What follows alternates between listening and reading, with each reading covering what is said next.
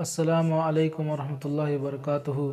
اللہ کے نبی جناب محمد رسول اللہ صلی اللہ علیہ وسلم ارشاد فرماتے ہیں، جب انسان مر جاتا ہے تو اس کی علم کا سلسلہ بند ہو جاتی ہے، سوائے تین چیزوں کے۔ نمبر ایک صدقے زاریہ۔ نمبر دو، ایسا علم جسے